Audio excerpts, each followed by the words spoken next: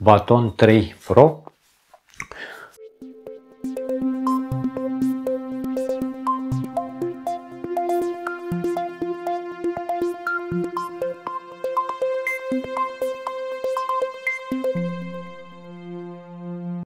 Este clasica lanternă EDC de mână, upgradată bineînțeles, S2R-ul, baton, în fin, a avut mai multe nume, acum este baton 3 Pro cu alimentare 18650, reîncărcare magnetică, un singur buton lateral, da?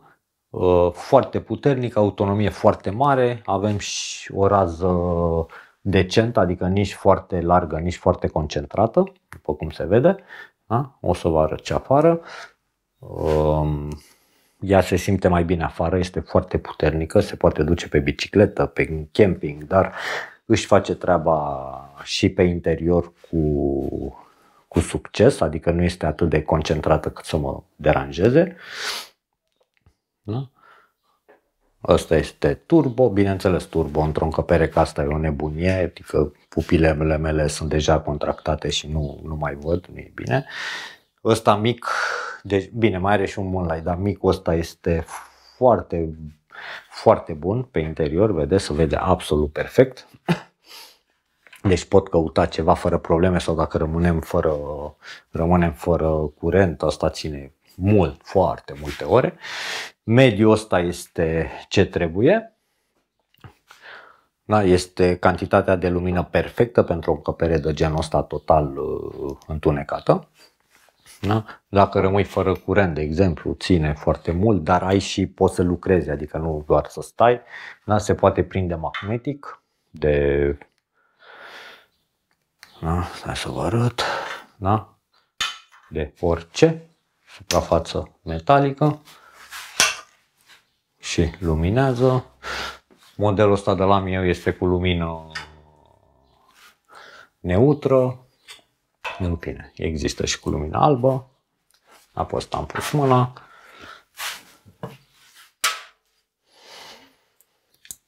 Da? Deci clasica lanternă, o light, baton 3 Pro. Bineînțeles o putem pune și ca lanternă de frontală, se prinde la șapcă și intră de tot. Da? Observați? Nu stă deloc afară. A, și am o lanternă frontală adaptată la o șapcă. Așa. Clasica, old school, au apărut și altele acum, a apărut și Baton 3 Pro Max, un pic mai groasă, cu 21.700, cu autonomie mult mai mare, dar e mai groasă. Deci asta este clasica lanternă. Încă este vândută, încă este cerută, o, light, o face în continuare. O lanternă foarte, foarte, foarte echilibrată.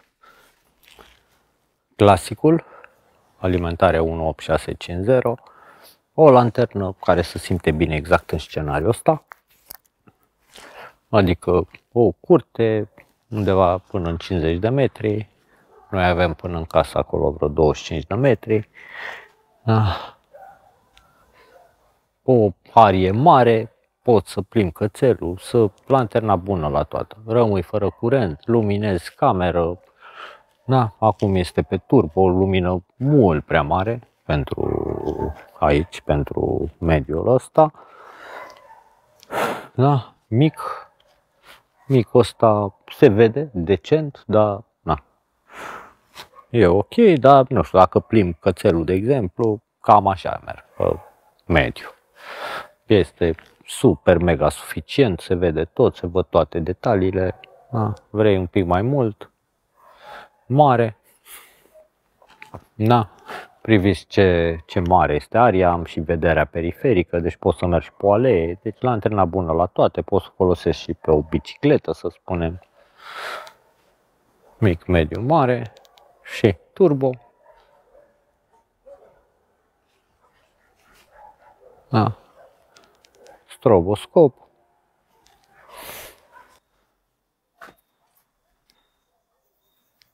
mic, mediu mare, turbo. Nu e pentru aplicația asta prea mult. Să zicem așa. O putem prinde aici. Așa, așa. Așa. Aici. Așa. Orice suprafață metalică, prinderea asta este genial. Clasicul baton de acum 15 ani, adică nu e aceeași lanternă, form factorul, mic, mediu, mare, nici nu vreau să știu câte exemplare de astea sunt în întreaga lume cu acest form factor, baton. Absolut incredibil.